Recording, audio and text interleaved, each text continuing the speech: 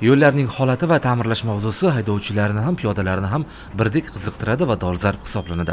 Ayni jarayonda viloyatning ko'plab qishloq va aholi punktlarida ta'mirlash ishlari qizg'in davom etmoqda. Jumladan narpay tumanidagi navro'z mahalla fuqarolari yig'ini hududida uch kilometrdan ortiq ichki yo'llarga asfalt yotqizish ishlari olib borilmoqda. Tashabbusli budjet asosida qilinayotgan ushbu asfaltlash ishlari uchun bir milliard yetmish bir million so'm pul mablag'lari yo'naltirilgan. Biz mana shu ko'chaga ko'chib kelganimizga o'qib ko'chaga chiqqanimizga o'ttiz yil bo'lyapti. O'ttiz yildan beri asfalt bo'lgani yo'q.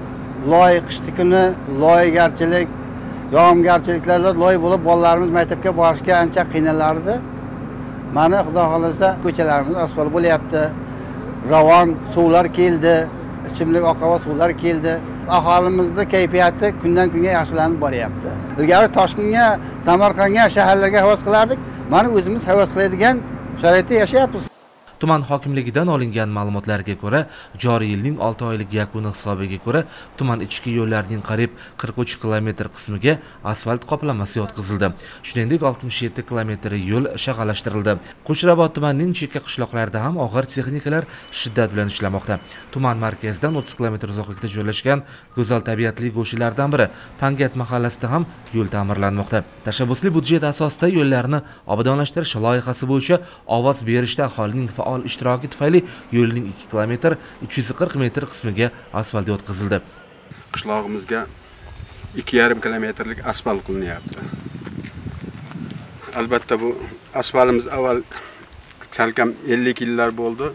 Nima yurishga noqulay edi o'yilib yotganda hamma yoqlari mana asfalt bityapti hozir. 50 yildan beri amalga oshmayotgan juda katta tadbir bugun nihoyasiga yetyapti.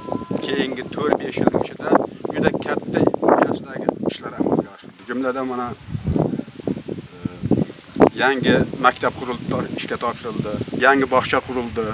Ana shu shifoxona ham qaytadan shu zamonaviy qilib yaqinda foydalanishga topshirildi. Bugun qo'shrabot tumanida yangiobod mahalla fuqarolari yig'inida istiqomat qilayotgan qishloq aholisining ko'p yillik muammosi o'z yechimini topdi. Umumiy uzunligi olti kilometrdan ziyod bo'lgan yo'lga asfalt yotqizilib harakatlanish uchun qulaylik yaratildi.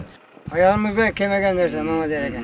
Chang to'proqda boyib ag'laveraydik ha shu yurtboshimizni sa'y harakatlari mana shu prezidentimizga katta rahmat. Mana qarang shu mahalla yelib yugurib ichki yo'llarni ham butun tosh olib berib berdi. ichki yo'llarni tashlab butun to'proq loy bo'lib maktab bolalar maktabga borolmaysalardi rahmat deymiz yurtimizga. Tuman hokimi bir kelib ko'rib olti yetti kilometr asfalt qilib berdi. Qanday ravon yo'l qilib.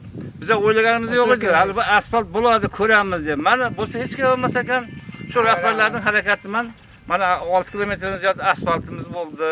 Mana halma qudrat suyitlarimizni silvalarni qo'yib beryapti tumanlar qishloqlardagi yo'llarni ta'mirlash ishlari davom etmoqda.